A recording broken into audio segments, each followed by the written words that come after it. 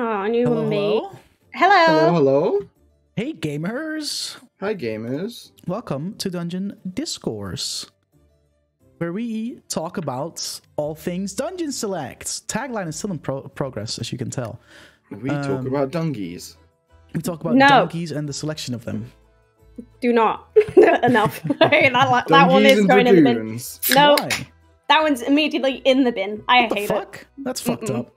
No, That's that shit. you're being Next. very hostile today, and I don't appreciate it. Dracons and Even though I did about dungarees. using you as a weapon. But, yeah, you know. did multiple times. He just like for some reason. Okay, guys, for some reason, me and Belle have been talking like, frequently about like just how funny it would be if we would like meet up and just get drunk together. It'd be fucking hilarious, right? Mhm. And for some reason, this image just like lives rent free in my head of me like because Bella's fucking tiny. Just picking her up and just swinging her around like a fucking bat. I don't know why, but that imagery just lives in my head. I rent debated it when we met up, and I was like, I don't want to break her. But we did sword fight with Bell's crutches. We did. nice. Like, full on, like. See, I want a sword the fight, but. I want to use Belle as the sword. You know what I mean? It's fucking funny. I would be like, Like, I, for some reason, that imagery just like lives rent free in my head. I head. just and I have don't know why. vivid fucking memories of me and Bell sword fighting, and Sassy being like, No! no. Stop fighting! oh fuck! It was great. Just come to the next LS We'd meetup. do again. yeah, as if we're ever gonna have one more. Sorry. Um, I would love to. I'll, I mean, to be fair, I'll be in the UK this summer, so I might be able to Hell yeah. meet up with some I'm gamers. gonna come and collect on all those sexual promises. Hell yeah, dude! That was not- her Because shit. my, my girlfriend That was like, not how I anticipated that, situ- that sentence. I think. my girlfriend lives like ten minutes away from Heathrow, so you know, the gamers are in the neighborhood and want to hang out. It's not too big of a drive away. Hell yeah! Uh, I mean, we already, I we assume, already like, said in summer we're going, we're going to make the drive up to you, Ethan. But that's something that we already. that, I mean, that's a terrible decision, but cool. No, because I want to eat. I want to eat those fucking garlic knots, dude. That's the only reason I'm coming. Get a fucking hotel in fucking Halifax so that we can order from my local place that's just outside of Halifax. yes, sounds like a great idea. Literally, only because they do like garlic dough balls coated in pizza sauce, coated in cheese, and then baked in a lasagna That's- dish. doesn't that sound? Ooh, fuck- I'm coming. That sound. That sounds amazing? delicious. right? It's Oh, honestly the best thing. Like, like it sounds like you've sent me pictures of that shit. And I'm just like, dude, that looks like a lasagna, but it's fucking garlic knots instead of pasta. Fuck it's yes. so good. Hell yeah! sign me I the I'm in. up. I want. I want to go. You can come, Bell. Hell yeah, Pog. And then we can actually, you. then I can use you as a fucking weapon. We can do all that. Yeah! Then go. Let's go. That would be great. I'm gonna bash you on top of Ethan's fucking skull. Get an Airbnb with a kitchen so I can cook for everyone. Hey, don't make promises like that, bro, because we're gonna fucking make that happen. I will turn up. my Fucking guy. I cinnamon, turn cinnamon toast. I just booked a, a day off work for fucking um for blood hunt. You think I won't book a day off work to come over and cook? True. Hell yeah. Oh no, wait, wait, wait. You and Kaza both cook because she works at a restaurant, and we can have a cook. You guys can have a cook off, and me and Belle will be the judges. We could either have a cook off or me and Kaz can That's work together excellent to idea. design a menu. No, no, no. Cook off, because then me and Cook Belle off? get to eat double the food. yeah. You get to eat double the food anyway. As long as I get to eat, I'm there. You know what I mean? Fine. Like as long as I get to eat, I'm, I'm happy. I do love a good competition. Right? Yeah. I don't want to ruin my friendship with Kaza by being incredibly competitive. That's think part that- of a good competition. Yeah, that's great. What? Just turning the heat up on the stove when she's not looking so that her steaks like burns on the outside That's fucked or fucked is up. overcooked. That's fucked up. You gotta stream that cook off so we can watch. I mean, at some point, like when I have a free house because I've got a lot of room downstairs, I want to do like a cooking stream. Hell yeah. I mean, yeah, that sounds fucking pog. Um, all right. Anyway, um, D&D. Discourse. discourse. D&D. Right? We have a lot of questions that got submitted, so I think that's going to be the primary focus of today's episode. I'm just going to answer I those questions because all of them. because there's so many questions, I actually made notes. My boy. You did. I Uh, did. I did. Also, I want to quickly thank everybody for being so lovely on my birthday. Ethan, thank you for the gifts, homie. I look at this fucking D20, dude. It's fucking massive. It's a fucking chunky boy. And the shirt's fucking dope as well. It's in my closet, so I'm not gonna go grab Have, it. you, But have it's you cool. rolled your dice yet? Uh, this one? Yeah. Yeah, I just rolled a natural one with, one with it, so pog. Um, very the curse, it worked. I mean, I'm gonna use it exclusively on enemies that like hit you, and eventually Ooh. I'll get good rolls. You know what I mean? Like eventually, what was that? That was a 15. so that's pretty good. You know, that was- That beats my AC without modifiers. there you go. There you go. Um, but yeah, my birthday was great. I'm gonna do a subathon type thing on Saturday, um, of which I'll post like a proper announcement uh, in my Discord uh, later. It's not gonna be very fucking massive, just like a little, a little, a little something, something, a little, a little, little bit of spice, you know. But uh, yeah, any other announcements? Uh, there will be a DS this uh, Sunday. There won't be one the week after because it's Easter. Um, this Sunday we have the entire gang minus Soko, I believe. So that's good. Good shit. Good shit. Soko won't be here for the next like three weeks, so you know it is what it is. It is what it is. But well, you know, we'll miss him, but also you know, we'll be really. it's you know Easter I mean? anyway, so so it's not like we're gonna miss loads on loads that we wouldn't have already. Yeah, exactly. Um, so last episode, y'all traveled to Lake Udina and uh, got introduced to the um, the community of Triton there, uh, and got given permission to study medicine under Fairy, the healer of that tribe, and got a lot of information about the whereabouts of the uh, Tear of Kasuth and also the beast in the lake and what truly happened to uh, Sir Oliver uh, and that like month gap he has in his memory. And Kess also learned a thing or two about a certain affliction that uh, seems to be uh, has surfaced in her dad, but also just seems to be a, a like a air elemental specific thing. Um, to which like not much has been learned except for the fact that it's something that really only affects elementals uh, from the air plane of air specifically and that basically any air elemental being is born with it in their system it's just a matter of if whether it's actually surfaces or not um there's a there's a lot more like intricacies and all that but we'll, uh, we'll discuss that when more of that gets uh, revealed in campaign um. So, what are you guys? What are you guys' thoughts on just the last episode in general? I mean, player wise, I fucking loved it. Character wise, Brooks is like, I don't know what the fuck's going on at this point. I'm just along for the ride. I love it. I'm super excited. Is this shit's going crazy? um, for it. okay. I mean, yeah. Uh, I, I talked a bit about uh, to, about to to Bell about the way the writing has been for the campaign because I can definitely understand that it might seem a little overwhelming because you have so many like different things going on at the same time. But the way I kind of Yeah. wrote the campaign and I'm right and my, my writing style is very much open world RPG like. You have a quest log that just like gathers up quests as you travel and it's up to you whether or not you want to do them and and when and and stuff.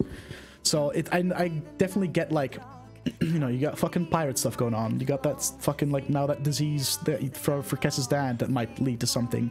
You've got the whole like Kosuf quest line. You've got like Koiba stuff going on. All all kind of like got introduced to you simultaneously. But it's very much the writing style is very very much in like the style of say a Witcher or a Skyrim, where you're just traveling and you're gathering all these quests and plot hooks, and it's up to you when and where you feel like actually following up on them that's kind of the way I've I've, I've been designing uh, for two reasons. One, to avoid making the campaign feel very linear, and two, to really give you guys that sense of freedom of deciding or really deciding what your adventure is going to be and where you're going, and really get feel make you guys feel like you're in control of where your adventure takes you. So those those are the two main reasons why the writing style and the amount of like quests for lack of better term you have seems so vastly different from campaign 1 uh, that's just kind of my um my reasoning for it all. Uh and i hope that makes sense Yeah, It it's it's you know, it's the idea that D and D is a living, breathing world, and that Yeah. just because you're not there, things don't stand still. Yeah, yeah, that's definitely uh, that's something that I also I, I mean, I did do that in campaign one, but like, I'm, I just writing wise, I wanted to cam- campaign two to really feel like you, a choose your adventure type thing, where you really, Yeah, like you have all these plot hooks, you have all this potential and places where you could go for stuff, and it's really up to you guys what you do Campaign and what one- order you do it. Obviously there were things that we left and came back and they changed, but there was very like pressing matters that we as a group had to go and sort. Whereas this, like, I definitely feel like at some point there is going to be a moment where we as a group have a choice of like we can do one thing or the other thing. Whichever one we do, the other one won't happen because they're both time constrained, Yeah. and we as a group have to decide who do we want on our good side, who do we want potentially pissed off at us, and Yeah, and like the consequences of of that are then yours to deal with, kind of kind of thing. Yeah, definitely, definitely. For sure, for sure. D and D. D and D, guys. Am I? Um, one thing that I really like enjoy, and that's also the reason why I have you both here, is because it, as far as like inter-party relationships go, the relationship between Kess and Brooks is always an interesting one. Stupidest. But it's also Yeah. like it's it's evolved a lot, and I kind of wanted to take today to kind of zoom in on that. Um, So I want Oh. to just kind of ask you both to kind of how do you see things and how do you view the developments and what do you think will happen between you two in the, in the, in the long term kind of thing? Oh god. Um I mean, I feel like Kess and Brooks have this really weird relationship, but also like as characters. Me and Belle did a lot of character writing not together and not interlinked, but very like side by side. Like we'd both be hanging out while we were writing stuff. And we both made these characters that have like two very like vastly different backgrounds. And like obviously there's secrets that like we both don't know about each other and stuff like that. But like we made these characters that are so different and then every now and again we find something and we're like, why are they the same person? That's so so. Like there's like so many things that's like wildly different from one another. Like, you know, like stable homes versus unstable homes and and their attitudes towards stuff. And then they end up like both like, hey, we're the stupid idiot. like Yeah. it, it obviously it's more complicated than that, but like there are like so many things that like so, Kess will do something, and I'm like, huh. I didn't expect anyone other than Brooks would be like that response to that individual thing. Um, regarding them two with each other, I think it, it's very sort of this like. It's it's very complicated between the two of them, and I think it's very complicated by the fact that they are both inherently, at least to some extent, selfish and manipulative people. You know, and they're both sort of pushing to try and have this upper hand both with each other and with everyone else in the group there's this underlying tone of like like even with Kess's secret she's like i'm going to tell you a secret but i want you to tell me something back. I don't want you to have a secret over me you know?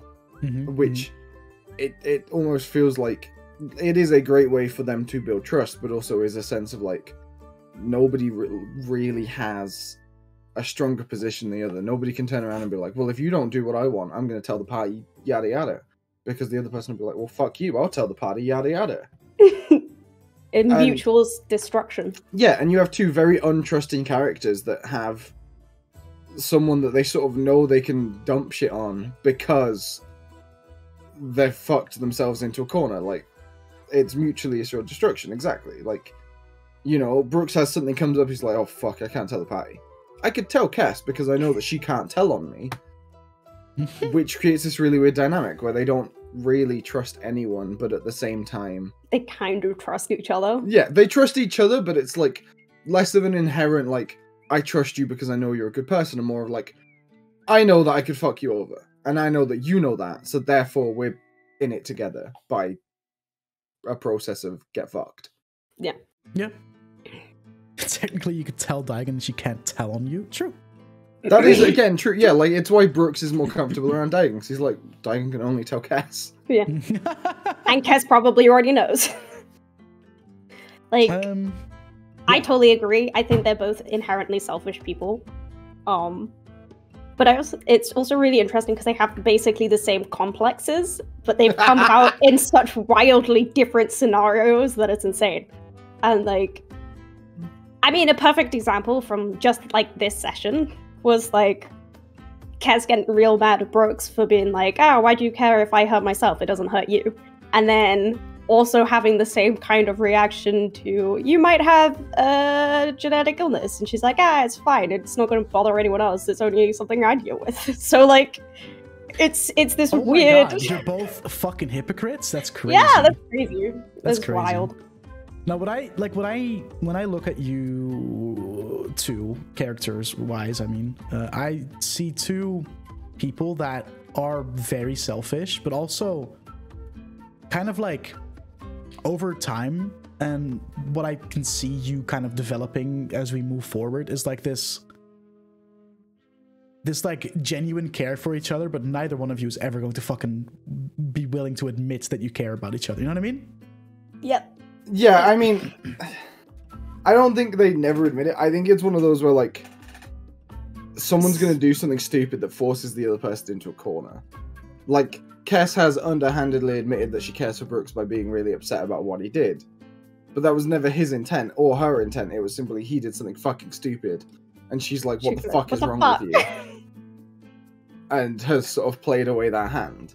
Yeah, but also like for instance, when you got when when Brooks got stabbed, and Yeah. like, Yeah. Like That was so Kess long was the ago. one who was the most vocal about her concern, and like was the most like, vocal about her relief when when you were patched up, right? it's what really struck me is that for a long time Brooks didn't know that Kess stayed next to him when he was unconscious. Because Brooks didn't find that out for like a long time. And, and he then would have never just expected mentioned it. She just like kind of like mentioned it in an offhand kind of like it was just like this time, and he's like, "You did what? Hold on, back up." It's it's it's weird. I think it's like one of those if they if they ever get to the point where they kind of and like tell the other person or and the other person acknowledges it, it will be a case of they tell each other and then they ignore it until it absolutely has to be acknowledged again. Oh yeah, it's gonna be a case of like you're an idiot, I don't want you to do that, I care about you. Cool, we're not gonna speak for a week. That's character development, baby. Uh, eventually, a year from now, we'll be able to. We'll have you guys sitting in a room together and actually like acknowledging the fact that oh my god, you guys care about each other. That's crazy. I mean, yeah, it's, it's like they both have their own individual reasons. Brooks, at the very least, Brooks is an individual that doesn't like feeling contained or constrained or in any way held down into something. So he sort of tricks himself into this sense of being like, oh, well, like, I don't actually care about these people. I'm just being caring because it puts me in there. Like, it, it's manipulative. And, you know, he, he convinces himself he's doing it to have an upper hand in the situation because he doesn't want to openly admit to himself that he cares for people. Because if he cares for someone, he can't just turn around and walk away. Yeah, but like looking at Brooks now, do you think Brooks would, at this point in time, be able to just get up and walk away? He likes to think that. Yeah, but like But no. Like, do I? when it gets down to it, I just I'm just curious, just genuinely curious. Me it too. depends on the scenario and how big it was. Like it would have to be something really bad, Hmm. but I don't think he could.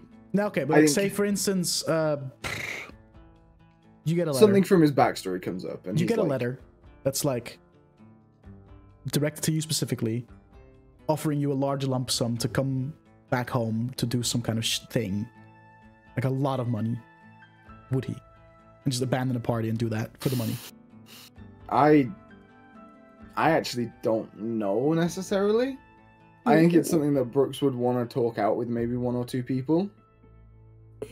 The problem is, is that like, it depends. If nobody else knows about it, he probably wouldn't leave because he can just pretend like it, It didn't, didn't really happen. happen. Yeah, legit. so whereas, no like- one has to know. Literal, one has to know. literal eight-year-old dude. Holy fuck. yeah, it's not. It's not about choosing the party. It's about he doesn't want anyone to be aware that he made that choice. he doesn't want people to know that he cares about them because he feels like that gives them Leverage. Leverage exactly it gives them advantage over him it gives them a position where they they are in control of the situation and he doesn't like that And as you're aware, in the past, that has not gone well for him. Mhm. So for a long time, he didn't want to be involved in a group. And for a long time, he didn't really want to be attached to anyone. The closest that he had was at the Friendly Giant, but that was still something where he could just pick up his shit and leave. So this is the first time in a long time where he's actually felt somewhat tied into individuals, and it's a weird feeling for him because there's comfort in it, but there's also tension and paranoia and fear. Oh my god, these people care about the fact that I almost blew myself up. That's wild. It's, It's not. yeah. There's a question about that, and I'll I'll go more into detail about that because that Okay. that's more complicated than it, it seems. Yeah. Mm-hmm. Okay, okay, okay. Uh, Belle, Yeah. I'm gonna ask you the same question Okay. because, like, we we know Kess cares about Brooks in some oddly childish way, almost. right? And Yeah. again, there's a lot of things about Kess that seem oddly childish at at a surface level. So that's, I guess that that's the theme, kind of. Yeah. Uh, I'm gonna actually I'm gonna rephrase the question so it's a little different. Okay. Um, if you look at the amount of care Kess has for Brooks, would she care as much as she does now if it were, say, Davian or Elazrin who did something so ridiculous or got stabbed? Oh. That's an, that's an interesting. I don't think so. I think it's like Okay. varying levels. She'd be pissed at the same level if Daigen did something like that. Mm-hmm. And then it's kind of like it kind of like decreases depending on other people. And it's mostly because of like it's like to her it's 100% a case of well these people are more important because I can use them for, to my benefit more effectively than like these people because they don't really have anything I need. Is that genuinely the truth, or is it something No! that Kess tells herself? Obviously not. I was gonna say She's yeah. just an idiot. True, true, true. Okay, okay, okay. Alrighty, uh, we've got some questions, and I kind of just want to jump into those because we have a lot of them. Excellent. So we got Sassy who uh, submitted a bunch, and the first one's for me. Yo. Uh, what I like the most and the least about both of your characters. I'll start with Brooks. What I like the most about Brooks is that he is, his mindset is very much just get shit done. No bullshit, just get shit done. Like, oh, why are we waffling for hours and hours and hours? Let's just fucking He's let's just fucking do it. Let's just fucking he, do it. He We'll hates see he what hates happens. that like Brooks is an individual which he hates that sort of like prior discussion. He doesn't care what the decision is. He has just voted do it. before Yeah, purely just so like, that there just- isn't let's a just make a decision. I don't care what the decision is. Let's just make one and just Yeah. get going. Yeah, like I, I, I, I appreciate that. Like that, like mindset of we can sit here and waffle for hours, or we can just fucking do it and we'll see what happens. I don't know. Uh, I don't know. Uh, That's something that I uh fuck with. What I like the least is his total lack of care or his total lack of understanding that he well he has the understanding i think but the the attitude he has when for instance he does something fucking dumb like hold a grenade and wait for it to blow up and his like incapability of reasoning with the party that are all vocally and visibly upset Eh, him just like not being able to like admit that oh yeah maybe that was dumb. You know what i mean oh dude that pisses me off holy fuck That's- I mean, yeah, I mean, it's designed to piss everyone off. Like, holy fuck it's dude. it's like equal parts pride and confusion. pisses me off um, and like that, that is one example but that there's just that whole attitude yeah, you know he he very much is like, I don't understand why you're questioning me. I made a decision. and I'm Get over it. fine. Yeah, like that oh dude man um as far as kess goes i think my favorite thing about kess is that like childlike wonder she has Yeah. about like everything everything that she like has no knowledge of is like the coolest thing ever to her and i don't know i think that's ve- i think it's very adorable but also it's just it's fun to see you like role play that out and just kind of be this bubbly child it's I don't know. I it's it's it's it, it gives me a lot of like enjoyment and just like watching you roleplay that aspect of her. Uh, the least favorite thing. trying to think because there's a couple of things that I'm She's like, a moron. well, but she's not though. That's the thing. Um, She pretends to be a moron. I think that my least favorite thing about Cass is that everything, even if it's like something very minor, especially when it comes to like interaction with the party, has to just be like a joke or or a fucking like has to be wound up by like lies or or you know what I mean? Like that that that lack of just being able to just for once in your fucking life be like yo, so this thing is this thing, and it's not like some like weird fucking like minor detail wrapped in a, a web of lies about you fucking stuffing chickens in a fucking chicken. like God. Bro, like fucking fucking Davian can ask you, yo, Kess, did you uh did you have breakfast this morning? And you can go like, oh, that reminds me of the time where I was in the Feywild and my mom fucking clapped her ass cheeks. Like, who the fuck asked? Nobody. You know what I mean? Did you have breakfast this morning? I don't like, know. don't get me wrong. Maybe I did, It's- maybe it's I didn't. But like, as far as like, just like, oh my god, dude, nobody fuck. You know what I mean? Oh god. I feel like it's so fitting for Kess though. Like she never ever wants to answer a question. Like Yeah, like just answer Like, the she fucking doesn't- question. you know? Fuck me. Oh. oh god.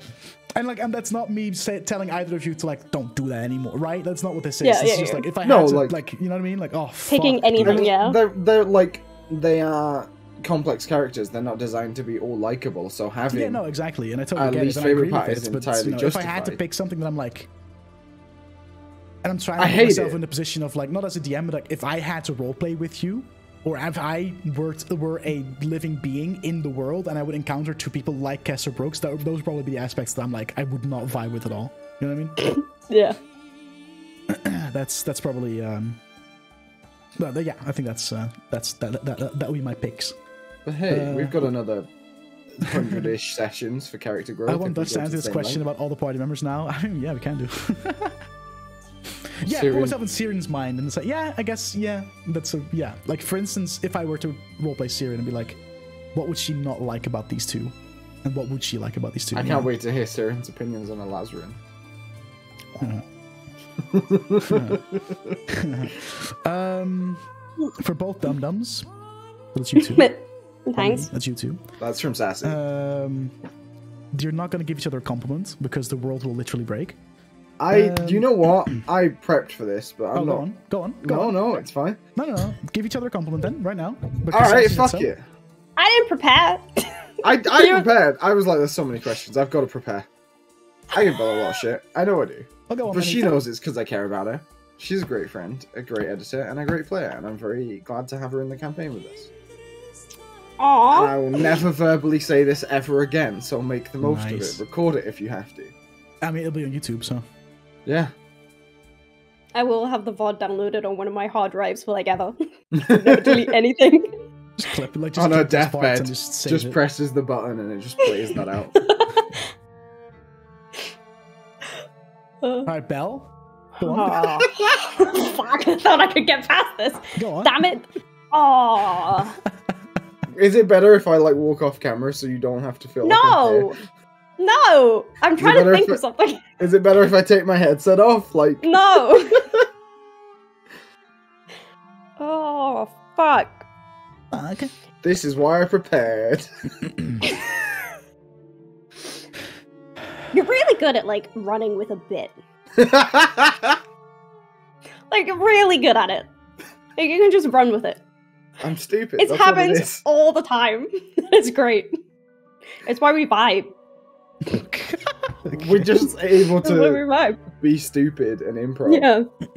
I, I think it's the ADHD. It- Probably. Undiagnosed, but probably real ADHD. the We were talking the about this the self-assessments say go talk to Mhm. your doctor. Go talk soon. to the doctor. And I'm like, ah, it's fine. nah, you know, there's worse things in the world than ADHD. Whatever, dude. Um, I have worse things. like talking to your doctor. Yeah, for instance. Um, what is a flaw of your character you hope you can use more in role playing or enjoy using in roleplay? Uh, Belle, you can go first. Ooh. Kess has so many flaws, and I love them. True. I think I think my favorite flaw of hers is this inability to see that she actually as like an individual matters. That's so deep. Wow. That's so sad. It like it, it creates so many fun, interesting like ways for her to behave and like discuss things that like wouldn't matter if she was as self-obsessed and like egotistical as she presents herself. But basically, she doesn't think she matters, and like it's why she basically is so reckless because she doesn't she doesn't care. It doesn't matter at the end of the day. So like So she doesn't worry about Brooks- anything. All the stuff she gives Brooks shit for. It's Yeah. just projecting. Yeah. She just she she's she has so many so many issues. and that's just like the one that kind of is is a bunch of trauma that's just piled on top of each other that she's just like, ah, I don't matter as an One day, individual. Kess is just gonna have a moment where she just like vents all of this trauma. Mm. It's just gonna be a twenty-minute just conversation like a, just by a fucking trauma dump. It's just everything all at once. Can finally stand up straight for the first time in twenty odd years. Like, I can't wait I for feel like the so light. first time, like for like the next time where she hops in the vessel and Dashi's gonna ask her, "So tell me how you really feel." And she's gonna be like this hour long monologue of like, "Oh God, well actually, laughed. Dad, life fucking sucks. Everything is the you until, worst." Like t- a week ago, and you're dying, and you're, f- you You're didn't dying. even tell me. And then- my Ask him friends if are he's all in idiots. shorts. The pe- the person in the group that I probably care the, the is in the top two of, of uh, level of care for almost killed himself and doesn't realize that's a fucking problem. you know, it's just gonna fucking you're gonna waffle. For like an hour. she's just she's it's gonna it, there'll be a breaking point where she just can't take it anymore. like you're but- gonna waffle for like an hour. yeah. Mhm. That's just gonna sit there Just, like, like, I don't not know how breathe. to deal with this. just sit in silence while she like rants. Uh huh. Yeah. Yeah. Like, no, we're the be like, worst. Just there with like a box of like crackers. Because there's like there's so much stuff about Uh-huh. like Kess that Daoshu doesn't know. he has no fucking idea who Kess is, really. Like, Really? Look at it. Like he's met, he's said stuff, and Kess is like, I'm I'm still thinking about that. A few days later, like I need to address this at some point, but like not today, I'm guessing There's other he's stuff not getting on. a statue. not yet. Posthumously Um, awarded. okay, Ethan. What's a It'll flaw just about be Brooks green. that you enjoy role playing and would like to use more? Uh, I mean, the obvious choice is Brooks's adrenaline junkie behavior, right? He's very. He doesn't like monotony. He doesn't like boring, both in and him, of himself and around him. He will make choices that maybe aren't the best choice because it's different, because it's new, because it's fun. Like, I don't see him being like, I'm gonna blow myself up with a grenade again because it went so well last time. But there was just this like niggle of like, I'll be fine, right? Like I've seen what these do. It'll be fun. We'll see what happens. Um, but I do think there's a lot of like there are a lot of little flaws about Brooks that like the party really haven't seen yet because he's got like these these walls up like like the party have never really seen him like properly angry. Like they've seen him I can, tr- I off. can. You know what's funny? I can trigger that. I I can trigger your Brooks getting so. I know you in front of can, and you everyone. I uh, also have- know what happened last time he was really, really angry. So like it's, it- fu- you it's know, just funny which- to like. All it takes is for me to make one executive decision, and Brooks is gonna have a fucking meltdown in front of the party, and it's just fucking funny to know. That all have it that is power. is is like off the top of my head is like one person is somewhere, and he's like, "I This don't it. talk to me, don't touch me Don't even look in my direction. Yeah, like uh, he's. I think Brooks is very good at presenting this like persona of like I've got my like, not I've got my shit together, but like I know what I'm doing and I'm very in control of it, and even though I make those decisions, I'm the one making those decisions. yeah, it's like it's like you have that as like a shield over everything, and then Kess's version of that is I don't know anything, and I will just do anything on an impulse, and nothing I think is relevant to anything. I just kind of like float around in my life and fuck around and do what I want. Yeah, I'm. I'm not looking forward to the party seeing Brooks angry, like actually angry. maybe it'll maybe it'll be a good. I think I feel like it would be a good thing. I'm excited. I excited. feel like it'd be You wanna know therapeutic. why I think that'd be a good thing? Because it's gonna show the party that oh wait he does care or he does have feelings. You know what I mean? Yeah, absolutely. And it's I think it's gonna show the party that oh Brooks is a whole ass person with feelings Yeah. and emotions. There are definitely choices he's made that have been influenced by his feelings. He's just very good at pretending that they're not. Yeah. There are like decisions I've made in combat about Brooks's placement, for example, that have been impacted by who's around, who's getting hurt, and stuff like that, which is something that he'd never admit to. like the monkeys. Yeah.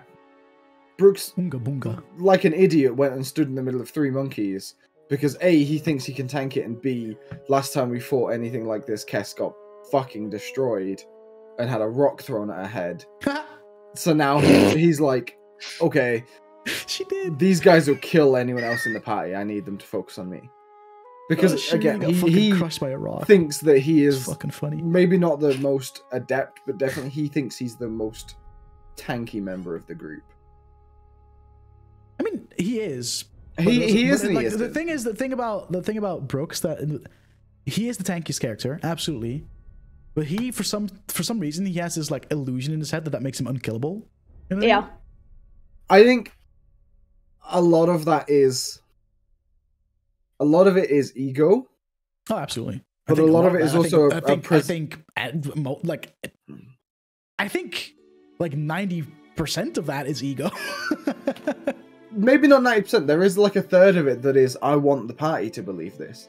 I don't want like like the fight with Dagon, like part of him's like, I feel a little bad, that was brutal, but also part of him's like, No, I want the party to see that.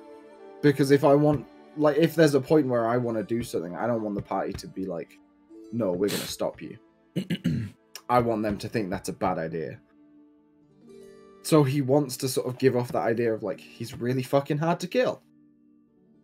You know? All it takes was three big blood apes to get with an intelligence pool together less than yours. Yeah, I mean Brooks plays as if he's got an intelligence of six, so Okay. Um, what is the most fun combat so far this campaign? Ooh.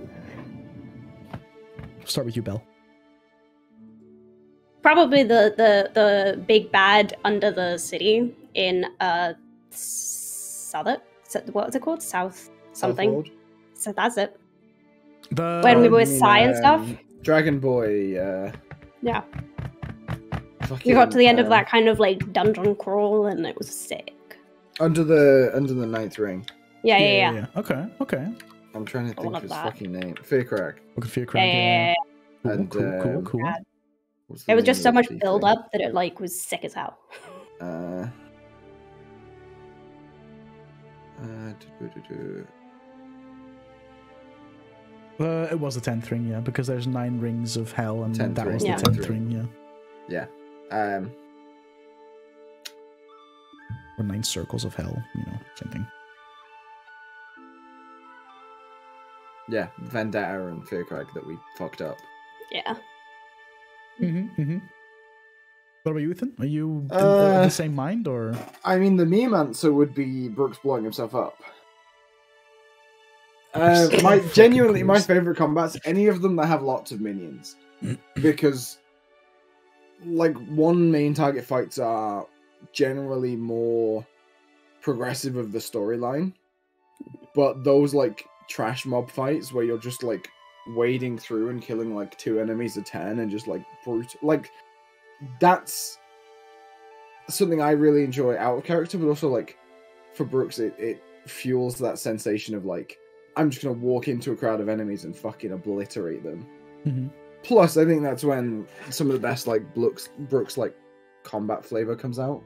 Mm. yeah, but it's also the kind of nature of of of being a barbarian. I feel like you Yeah. do really well. Same as like clerics or paladins. You know, oh, give me a fucking horde of undead, and let me just fucking wipe them out in one fell swoop. It's fucking cool. Yeah, I mean, yeah, I feel like I I mean that's true of most classes in the game. There are very few that are better on single target. Um, and that tends to be like very caster heavy. Like your martial classes are going to enjoy being in a group of multiple enemies, especially when you're getting more than one attack. hmm because you can just like Daigon's the same. You put Daigon in a group of enemies, she can make like fucking four attacks. Yep. And you know, if they're all low health trash mobs, you're just beating the shit out of people, and it's great fun. Yeah, no, fair, fair, fair. Uh, I think mine. Just gonna answer, even though it was directed at you two. I'm gonna answer to Sassy. Go eat a dick.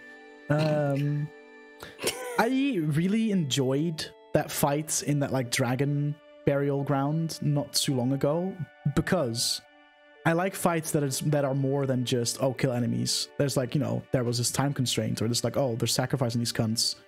Some fights that have just like a little more thought behind them of like oh uh, and there's definitely going to be more of that as we as we keep going. But like just fights that are more than just oh we got to kill things. It's like oh we got to pick our targets. We got to make sure that we stop whatever's going on because if you know if we don't, something much worse is happening. Um, that like I I don't know I like those fights a lot where it's like yeah you know big ass boss fights are cool and stuff like that but like things that are that have consequences if you execute it in the wrong order for instance it's very cool. It's slightly tangential, but as a DM, I always really enjoyed throwing like moral fights at the party where like you're being attacked by like possessed villagers that are people you know and are friends yeah with, and suddenly you're like, well, shit. Do I attack them? Do I not? Like, Yeah, no, that's definitely something that has always. Uh, the thing is, it's kind of like so far I haven't done it, but it's also because I really want to be like make sure that there's a good reason for that to happen, and I feel like with this whole like the vibe of the campaign so far and just like the place you are, I don't really think that fits very well in the can't wait like. until we make a social faux pas in fucking Sekthar and have to fight a bunch of snake people that we've been trading with. Fucking pissing it down all of a sudden, Jesus! Fucking raining, man. It's because we're talking about Well, the jungle. I guess Yep. so. It's fucking monsoon, man. Yeah, like we're gonna accidentally offend someone because like we I don't know, brought our own cutlery or some Well- weird like cultural tradition. Okay.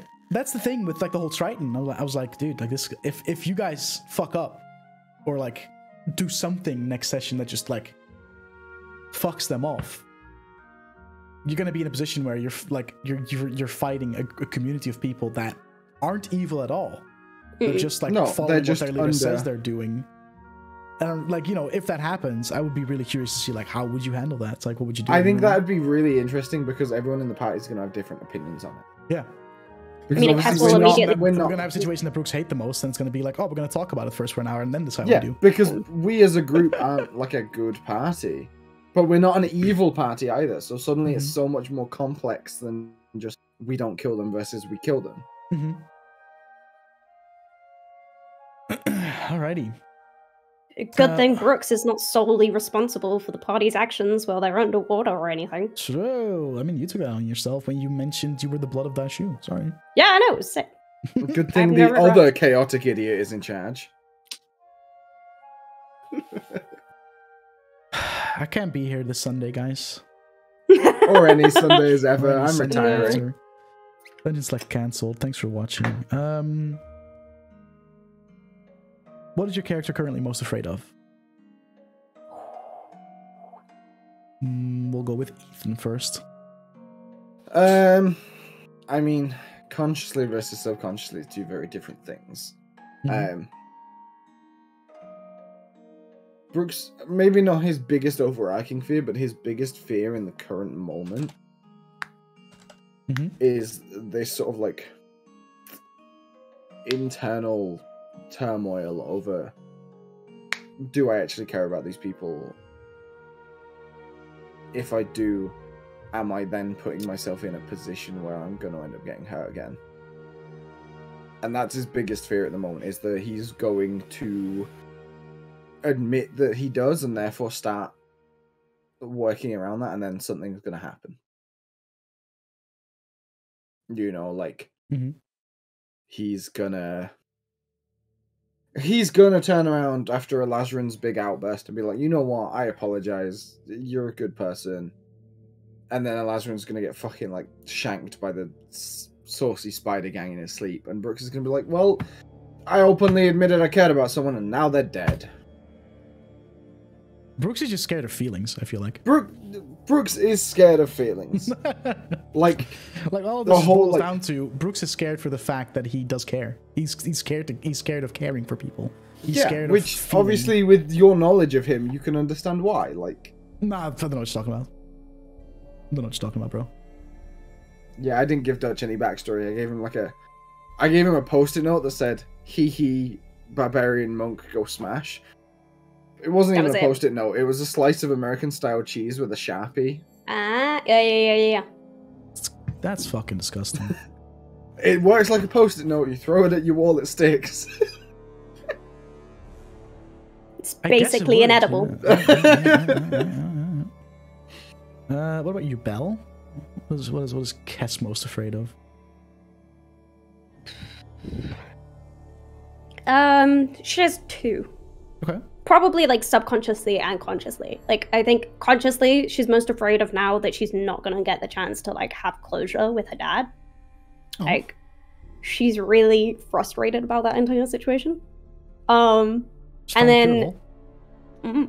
and then subconsciously she's terrified that she's gonna end up just watching this group of people die and be the only one left. Okay. Okay. For a bunch of reasons that relate to backstory, I cannot tell. But like You can do because she's a murderer. Yep. The last group of friends she had, she killed in their sleep. They ended up stranded on a desert island. Okay. Um, what's your character's favorite color, and what did they think they would be when they grew up, when they were younger? Teal! And, And she did didn't think she would be anything. and she didn't think she'd so be good shit. anything. She she thought she was just gonna live in a village for the rest of her, life and basically do nothing because that's basically what her people do, nothing. And she was just gonna remain stationary for the, like her entire existence, which is why she left. That's so depressing. That is really Mhm. depressing. Yep. Also kind of a mood though, like Loki. Uh, Brooks' favorite color is royal blue. Uh, and as a kid, he, Pretentious thought, fuck. He thought he would grow up to be a blacksmith like his dad. Smithy. Yeah. Okay. Okay. Okay. He was kind of right temporarily. For a little bit. For a little bit. You know, like for a And couple then of they had a tiff, and he decided that he wanted to see more of the world. And He was like, and ah, fuck off. you know, get as much distance as possible from a certain. I mean, no, he went to explore the world first. Then that happened. Then he was like, I'm gonna get as much distance as possible. both- Conveniently, it would occur. Mm. Yeah, no, I mean, he moved out because he he had a tiff with his dad, and he was like, you know what, fuck this shit. There's got to be more to life than blacksmithing, which, in some ways, is really selfish based on why he was meant to be the one that that runs it. Just a bit of a prick, really. Yeah, I mean, I don't want to spoil that. I'm sure. Yeah, I mean, find there's out at like. I mean, you're gonna Kess get a letter one leaving. day that Yeah. uh, the, that entire like Smithy just got gotten blown up and everybody's dead, and then got nothing to worry about. Your bitch X happened to also be caught in a blast. Oh, look at that, beautiful. What do you mean, X? they were roommates. They, They were oh my god, they were roommates. I mean, they were to some extent.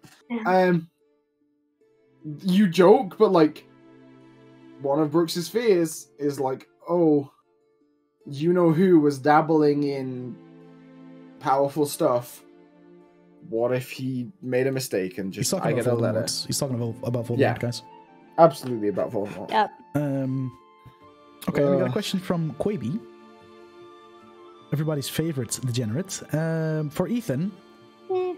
is Brooks surprised that not only the group cares about him, but the two who seemed the most angry at him were Kessin and Lazarin, or does he think it's some kind of trick? Ooh. That's two separate questions because Lazarus and Cass are two very different answers. From like a very surface level with both of them, he's not surprised because he would absolutely do the same. What surprises him is that from both of them it feels genuine and not just like a manipulative like like a, a sense of like it doesn't feel like they're feigning care. It feels like it's genuine which to him like doesn't necessarily surprise him from Kess, but also sort of puts him in a position where he's like, so that's a thing. Okay. Mhm. Um, Eladrin is more of a surprise that it's a genuine care. Because it's the first time really that Elazrin has expressed any real anything other than like apathy really towards Brooks. It's a big word. like what does that it's mean? the it's the first time that Elazrin has shown that he like that Brooks isn't just someone that's also like in the same group, you know, like friend of a friend. Like Yep. Apathy is like the absence of feeling. yeah, it's like the I don't hate you, but I don't really care either way. You know. Mhm, mhm, mhm. Okay. So for Lazarin, that sort of like throws him a little through the loop of like, but why? I've not done anything for this man. You know. It was funny? Corbett did so well with typing that one question out without any fucking typos. And now the next one's gonna be full of spelling mistakes. And then there is is Kess worried that the group is getting more and more entangled into elemental politics and we in too deep? I don't even think that's a spelling mistake. I think that's Just just he just got lazy. Cor- We Corbin's in too deep? Has We in not. too deep, fam. Like he just, he just got lazy towards the end of the writing there. It's like ah, that'll Yeah. do. 'Cause Nah, we're will do. Too deep. I can't sing Um, the rest of that. To answer the question, no. Kess is not worried about it. Well, okay, She- can, I, can I ask something like Yeah. real quick? Like Yeah. I don't think Kess has really realized that. Like there is some elemental politics going on, yeah, but I don't think that realization is quite there of like how close to it you all, like how in the center of it you all are. I feel like, Yeah, you know what I mean? yeah. There's hundred percent that. She's like, eh, we're like, Because like when you look at it from an objective, like from a from a player perspective and a DM, it's like you two, like you as a group, have a connection to big man of the air elementals, big man of the fire elementals, and I don't think you as a group, but also Kess as a just as a as a person, doesn't really realize how fucking like huge that is. You know what I mean? Yeah, I mean, just like mentioning her dad's name at the Triton, and then like uh, their reaction of like, "Oh," like totally Mm-hmm. surprised her. She was like, "Oh, okay, this is great. this works out wonderful for me." But like, she just thought they'd be like, "Oh, okay, like." That, that makes you you a little bit more trustworthy. You like come on with it. The fact that he was like, "I will show you around personally," and she's like, "Oh no, this yeah, is I mean it's a big deal Mm. because yeah, they worship slash follow the elemental lord of water and you like in a way are like heir to the throne as far as like leadership you know what i mean because you are the, Yeah. the, the you are not heir to the throne that would be your dad technically but uh you are like not only granddaughter of the man in charge at the moment but also daughter of one of the biggest like influential um what's the word diplomats the air elemental plane has to offer like, that's a big fucking deal it explains her obsession with diplomatic you. immunity. Not only for you but also for them Yeah. So- it's like it, it- it's it's weird for Cass because like she kind of feel is very used to having these big powers around her. Like it's mm-hmm. kind of just it's very normal for her. Now there are a lot of them, and she's like, it's great. It's like a party. It's wonderful. But like she is still struggling to grasp like that this is not normal. this this is very weird for like everyone else in the party. So like anytime like anytime she brings it up, she's always like surprised. I mean, even just like Davian's uh, reticence to like accept the tears was like weird to her because she was like, "It's great. What what could be the downside? it's like fab. This I, I love it. It's great. I just talk to these people well, all the time. like so far it's been positive but there's also a lot of like ways that could backfire like oh hmm you're the daughter of this and this guy oh yeah okay we have we have a fucking bone to pick with him you're coming with us you know what i mean like there's a lot of like back like downsides to that as well Yeah, she sure like at some point will will come up She 100% knew it was a risk mentioning like Dashu to the Triton. She was like, Mhm. "Oh, this could go badly. But she had no concept of how badly it could have gone. Yeah. Like, for all she was concerned, it would just be like, a, nah, get the fuck out. We don't want you here anymore.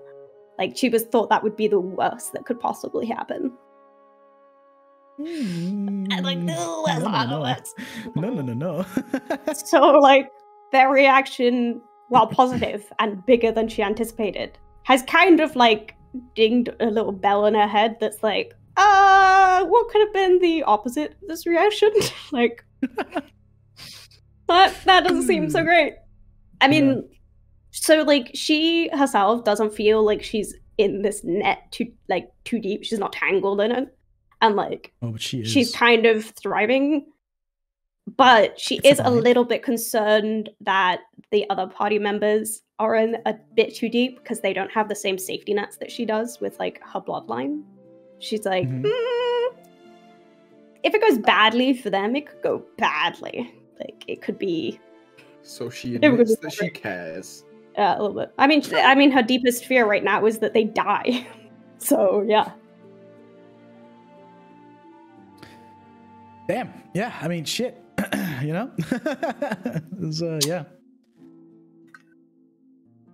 That's what backup characters are for. It's all good. True. True. true Um. Okay. We got a question. A couple questions from Soko. Ooh. Uh, Are your characters worried about what will happen when the whole tier of Kasuth puzzle gets completed? When Mm, Davian again no. gets that final tier?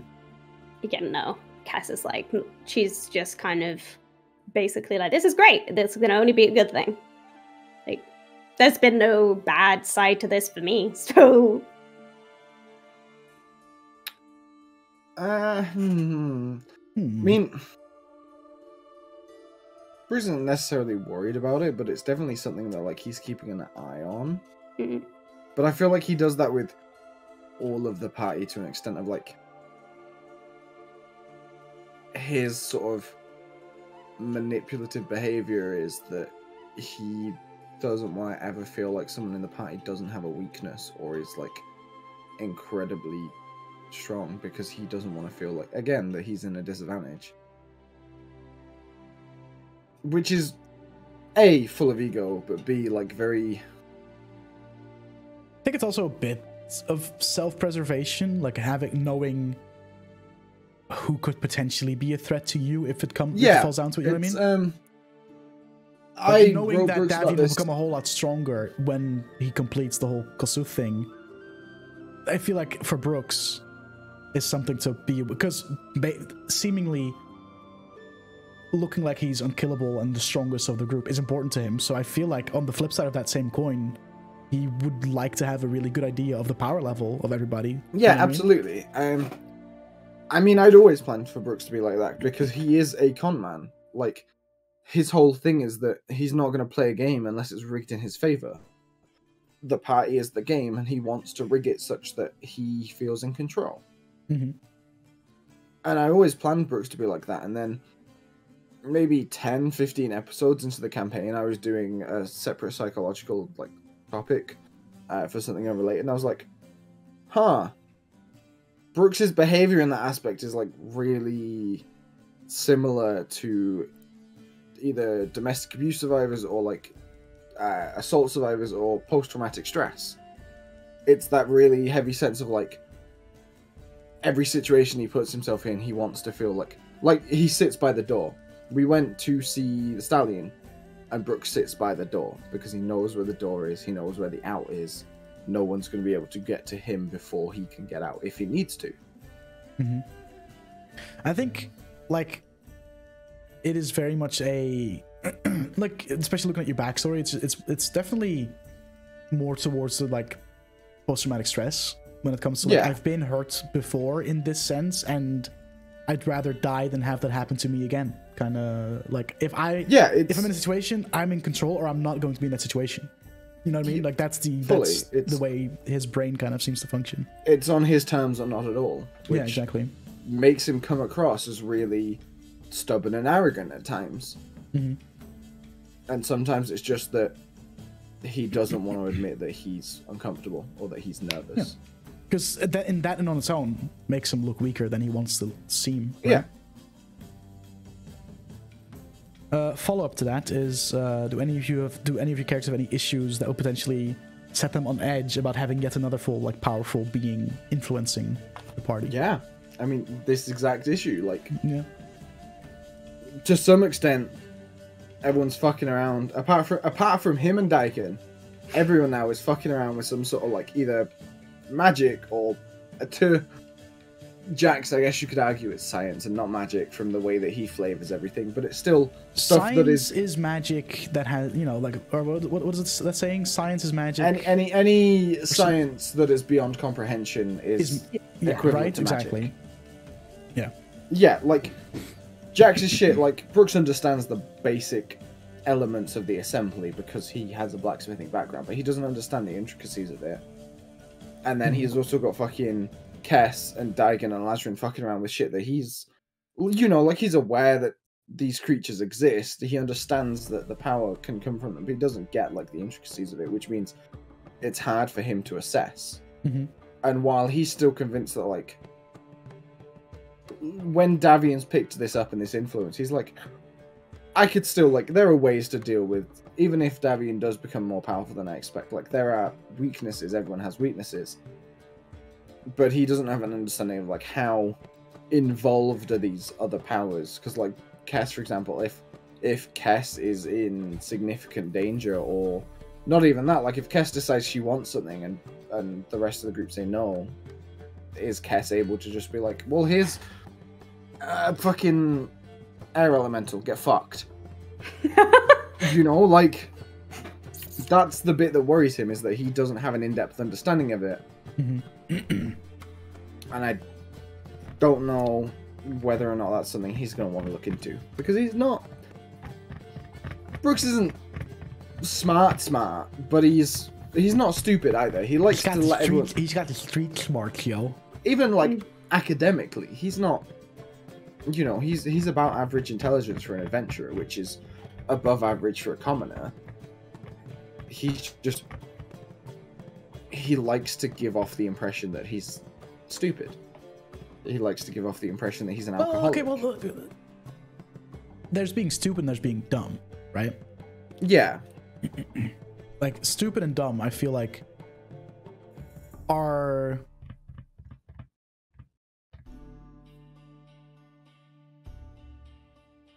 I'm trying to listen to fucking like what Laura's calling out and I can't hear it.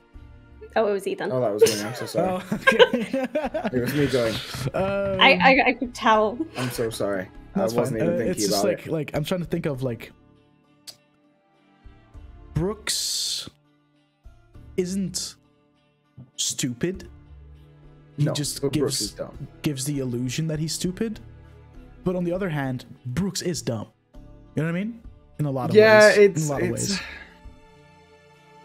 He has the intelligence to understand scenarios, but also is either blinded by ego or emotion or anxiousness in such a way that he allows himself to make what is dumb decisions, or sometimes purely just because he'd rather make the fun decision rather than the smart decision. And I feel like Kess falls on the opposite end there.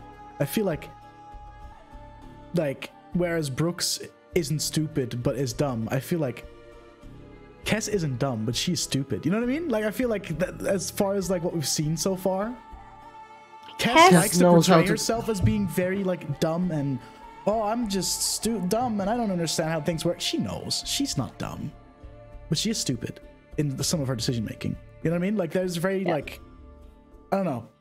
Kess It's- portrays that she's got everything under control, but doesn't necessarily have the underlying understanding Yeah. of certain, especially in social scenarios. I think that's where it's most prevalent Yes. compared to Brooks, who has like a very strong understanding, but then ignores that because he can. Mhm. Kess Kess is isn't dumb. Like she she she understands things to a greater extent than she allows people to think she does. Yeah, exactly. But her decisions are definitely underlined by a a reckless abandonment of like any self selfish pre- pres- preservation or like Yeah, is anything that isn't stupid. fun. So and it is it's. Yeah. stupid. Like she if she turned that off, she would be like a pretty intelligent person. But she just she gets bored too easily for her to just not decide to like fuck around and do the dumb thing. It's where they're both very similar in that like they know the you correct both choice. I just I think what I learned today is that you both piss me off. You know? they both understand the correct decision, but they both Like are very easily bored and almost have that like childish God. like I'm done with this now. Let's do something else. Yeah. Hate it. Uh, I mean, I think I know the answer for you regarding this question, Bell, about like, oh, how does th- th- any issues with having another powerful being part of like the gang? And I feel like with Kess, Kess has like three on speed dial. I don't think there's going to be an issue with there being a fourth involved in the party at any point. Nah, she's in regular communication with at least like just I- three. Fucking she yeah. regularly drops in and's like, "Hey, so Sup- I need this sup, thing." fam? Yeah, Yeah. like she's totally relaxed about it. She has no worries. She's like, "Oh, it's fine. This is how my life usually goes." Well, It's like it's like when she was talking to Elazarin and she was like, "What? You don't talk to your gods on a regular basis? Like that's lame." no, he was like- smile. Yeah. Yeah, that's yeah. I, figured that would be that would be the answer. Mhm. Uh, last question from our very own Laura K. Oops. For both of yous, both in and out of character, what are you most nervous slash concerned for if we end up fighting the Aboleth? Oh, um, I mean, out of character is very simple. Brooks does not do well with mental saving throws. Oh, who are you most nervous concerned for? Oh, my bad. Sorry. Oh, who? who? Who? Sorry.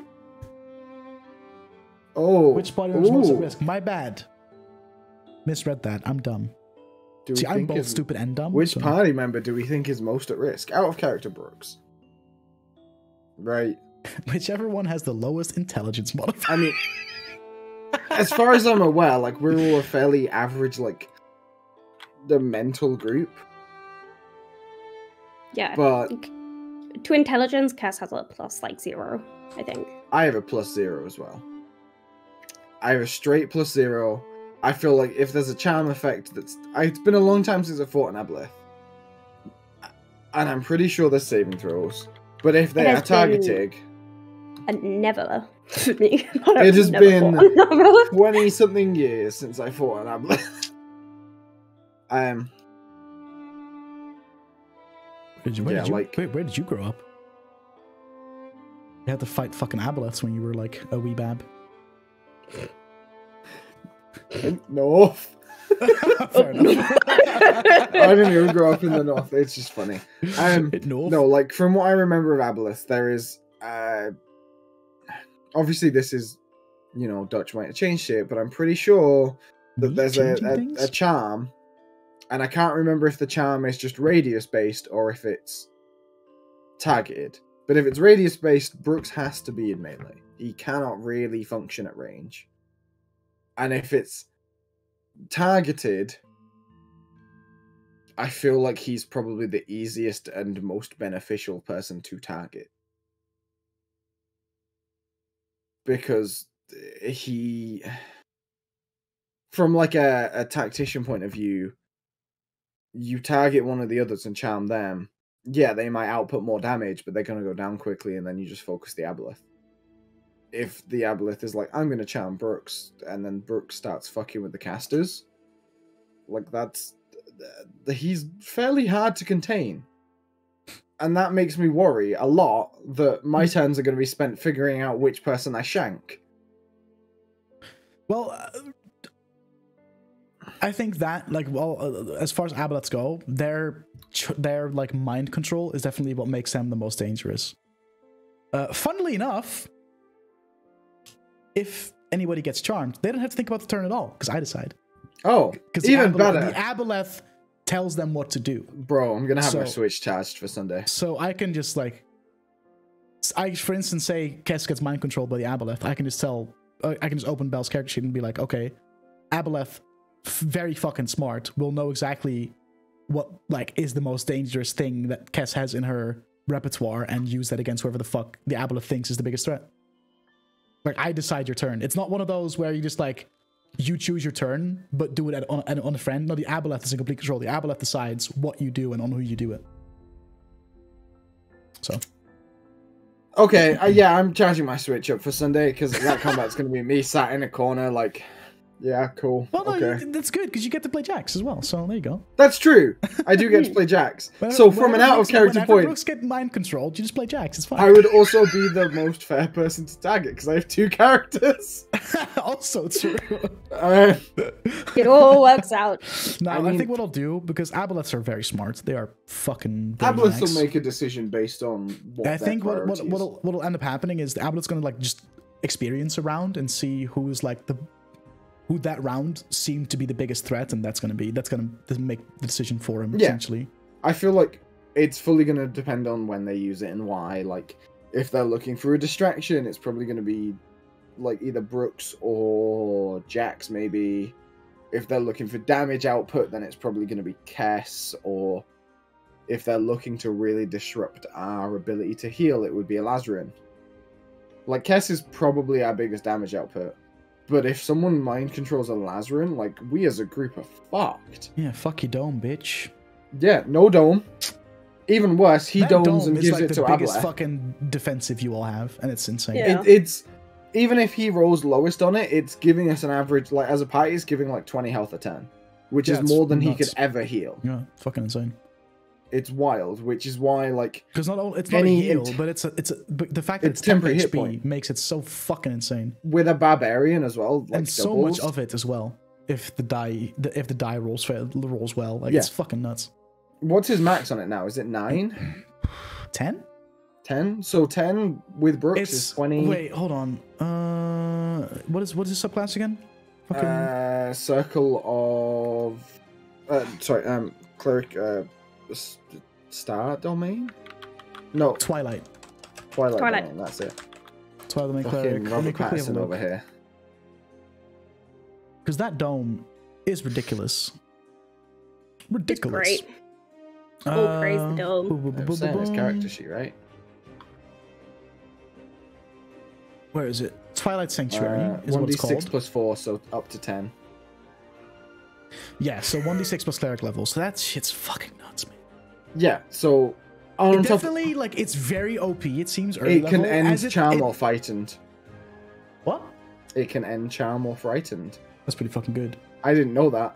Oh, I didn't either. Elazarin's suddenly a very big target. Yeah, Elazarin just became a very big target. Any any any enemy any intelligent enemy is gonna see Elazarin as an incredibly difficult like target now. And that's gonna Um, wipe out our heals. So yeah, right now it's very OP, but I also feel like because the only scaling it gets is cleric level, Mm. uh, it kind of like balances It out. trails and off. It, it, it, it balances out, but also may fall flat when you get really high level a little bit. You know what I mean? Yeah, you Because right like, now 10 temp HP is fucking insane.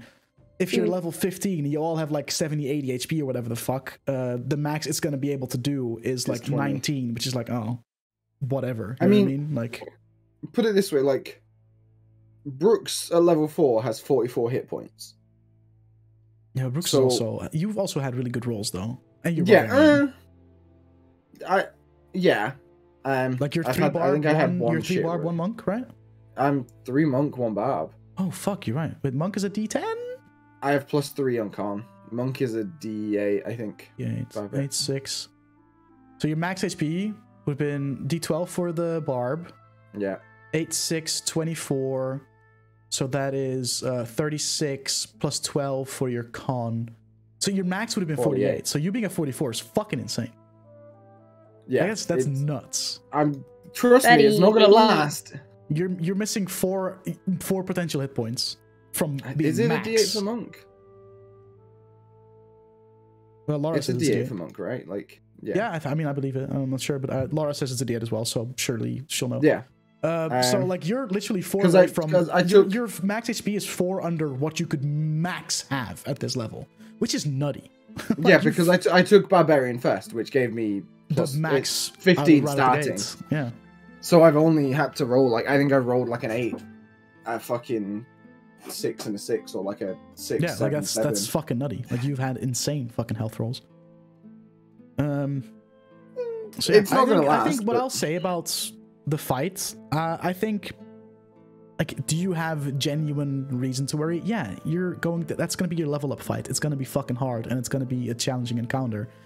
Um, but it's definitely designed so that you can win it. You know what I mean? It's not. It's not one Yeah, of those fights where you know what I mean. Like, I want you guys to fight it because I want you guys to win because it's your end of story arc uh, level up fight essentially. Yeah. Um.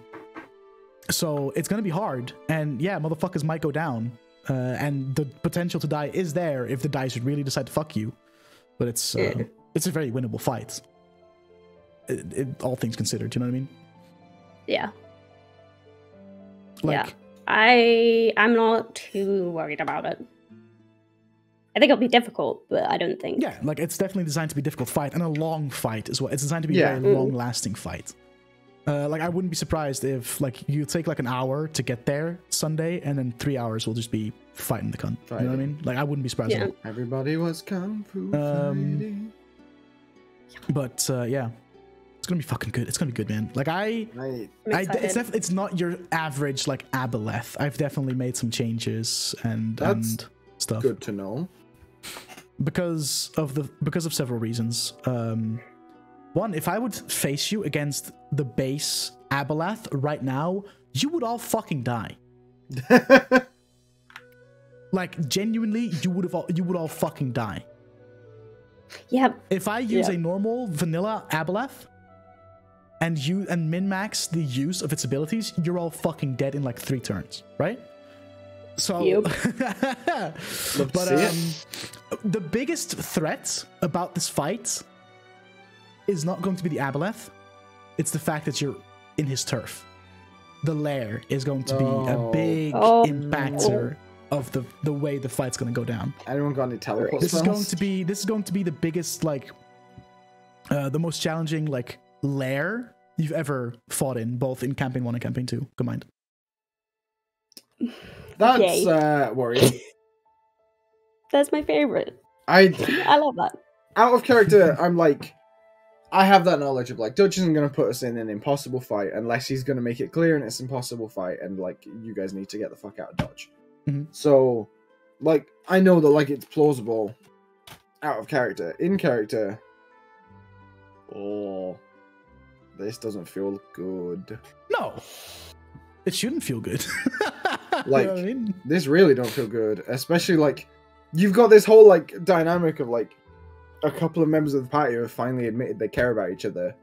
Then you're going in to fight something horrific. Like that's It's gonna definitely be- going to a be playing. more perfect time to kill somebody Not even killing someone, but like Taking someone Killing down. I can't speak for everyone, you. but like I could I'm gonna speak for the fact all. that like I can't speak for everyone. I could speak for the fact that Brooks could quite easily be baited into stupid decisions in this fight based on what happens. in any fight motherfucker That's just Brooks doing Brooks don't pretend like that's just gonna be this fight you little fucking liar i see i pierce through your veil of lies when I say stupid decisions, I don't just mean being like, huh, it'll be funny if I do this. I mean like actual like emotional decisions. Those are the worst ones Brooks makes. Oh, why did you fucking sound French for a second? Those are the worst ones. Those are the worst ones. Those are the ones. worst ones Brooks makes. Oh, we are playing the D and D, you know. Oh, by the way, guys, I want you all to DM inside. Vincent right now because it's his birthday today. Wish Vincent happy Oh. birthday right now. Yo, I'll do it on stream. Big up my boy Sai. Um, but yeah, uh, I think as far as I think general consensus about like who is the biggest, who's at risk, stream. probably. I'll Mm. happily admit If that. if if, a- if an aboleth is smart enough to know what we can all do and notice that he can heal, yeah, I mean the base intelligence of an Aboleth's 18, man. He's fucking Aboleth smart, man. or even like even if like aboleth. Look at that face. Fuck me. Well, Oh. currently uh, in casting for the new Batman movie as Two Face. Hang on, let me get a- fucking stroke, dude. Let me get let me get a let me get a screenshot of this. That's fucking amazing. Oh, that's fucking amazing. Fuck. All right, let me pull up Photoshop. I've got something to work on after this. oh my god. That's oh, beautiful. fuck me. Uh, Belle? Hello. Hey! there she Hello, is. she's back. the face you froze on, Belle, was Yeah, I know. I saw it. magnificent. Thank you. Magnificent. hmm Um, Alright. Um, God, I hate Discord. Yeah, yeah, yeah, yeah. We gotta check out Zoom at some and Just give it a try. You know, give it a trial. Okay, Zuma. I mean, you can only Zoom meetings end after an hour if you don't No, pay for it. because it. Laura has the like business version of Zoom. Oh yeah. uh, she said, and that does not have a an hour limit. And Denny Hmm. uses Zoom for uh, Dicely that campaign, and uh, because Discord has been shitting the bed lately so much, might be Yeah. worth I mean, giving the giving other Zoom a option try. is to. Give it give, mean- just, just give it a try for it for a week and see if we notice a, s- a si- a significant increase in quality and less fucking less um desync. I think desync is the biggest issue with Discord at the moment. There's just so many times where like cameras go in and out of sync for no fucking reason at all. Pisses me off. So- Discourse, it happens significantly less. But I think guess it's a because- bandwidth issue. It's, but- I think that's because there's just like a smaller group of people, only three cameras, so like fine. But DS, gangs all here, seven webcams. Discord does not like it, man. seven webcams that are all reasonably high quality as well. yeah, like It's a lot just of like data. nah, I'm good, fam. DSL The only other thing we was like this. There was a long like campaign one. We never had issues like that. And then me and Discord. Bell got fancy cameras. True. Motherfuckers. Don't worry. Um, If I if I win the lottery, the first thing I'm buying is I'm getting everyone Oh, speaking DS of lottery, dude. cameras. three days, and I'll be a millionaire, motherfuckers. Maybe. Um, There- no fucking shot. You're no millions. No fucking shot. But you know, hey, we have a lottery ticket. Dab. Um, I mean, it's a bigger chance to get eaten by a shark than to win the lottery, guys. Um, I don't know how those numbers work. But that's like something I always hear. Is like, oh, there's a bigger chance you get Yeah. eaten by a shark. Like, motherfucker, I don't. not on dry land, you dumb bitches. I don't go to the fucking beach ever, and I don't go to. I hate the ocean. I'm not gonna get eaten by a shark. Okay. if you don't go to the Shut ocean, up. there is absolutely a bigger chance of you winning the lottery than Right? getting That's eaten what by a I'm shark. thinking. Um. Anyway, as we always do with Discourse, we end off on a little bit of a teaser for uh for the next um session. And I think I've already kind of said it. I think uh, Lasman's well, gonna die. No, I think I think the biggest die. threat Finally. of, the biggest threat of your upcoming encounter is not the aboleth itself. It is the realm he calls home, his lair. Is going to have a big impact on the flow of things. Oh, Love great. that. You're gonna Oh really, shit! Psych. Underwater fighting. yeah, underwater fighting in a aboleth lair. That's just, man. Um, but who knows? You know, we'll see. I hate it. Uh, and with that, I want to thank you both for being here. This was a fun sesh. A lot of questions. More of that, please, guys. Submit all the fucking questions. Um, thanks for watching, everybody. Uh, Shatter and Beanie, thanks for the subby webbies. Nine months. Foggy's boob. Uh, we'll be back here on Sunday, Sunday, Sunday, with uh, the next Dungeon Select. And probably a character level up if things go well. Yeah. Possibly a character death if And things possibly a character death or two. Um, I get. What is it? We'll see you on Sunday. I. Take care, stay safe, and this will be up on YouTube or whenever. Soon TM. Soon. Uh, Saturday. There you go, Saturday. Peace out, gang. Take care. Bye bye. Bye. Dum. Bom, bom, bom. Keep going. Bom, bom, bom. Bom, bom, bom. Du-du-du-du-du-dum. And now slowly like fade out. Just like.